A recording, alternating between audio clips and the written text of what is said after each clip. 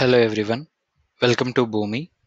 Today we are going to discuss the property name sequential processing of custom script engine data. This will be available in the properties panel advanced tab. This property determines whether one document is processed at a time in a sequential order while executing Groovy scripts and reduce memory issues.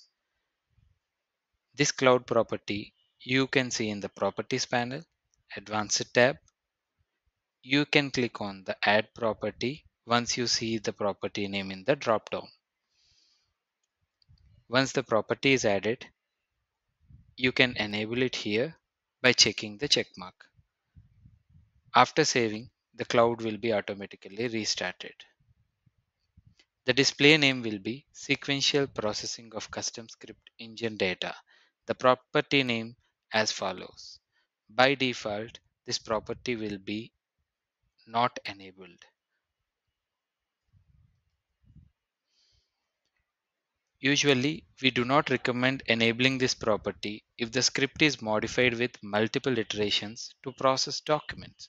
If you want to access documents multiple times within the same script, we recommend you to disable the property.